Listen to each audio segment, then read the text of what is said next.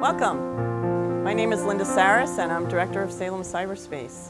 Salem Cyberspace is a free academic program for low-income, largely Hispanic youth ages 12 through 18 from Salem and Peabody. Here we provide academic tutoring, English language literacy programs, and programs for career exploration and college readiness.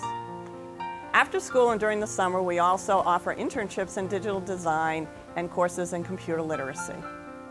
The entire staff at Salem Cyberspace works really hard to make this place feel like a home away from home, and of course that means starting off with a healthy snack.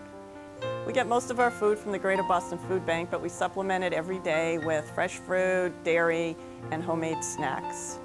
In partnership with LynnCAM TV and Flo Goodman, we present to you the series of healthy eating shows for teens and their parents. Enjoy the shows.